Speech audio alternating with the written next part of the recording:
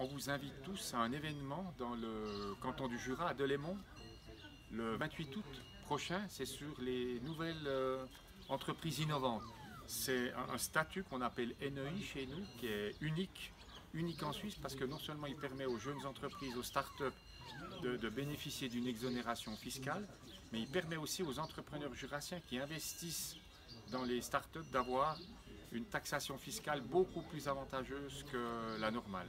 Donc l'idée en fait de cette euh, réunion, bah, c'est de réunir d'un côté les jeunes jurassiens qui ont créé leur start-up, et de l'autre côté les investisseurs jurassiens qui sont prêts à investir dans les start-up.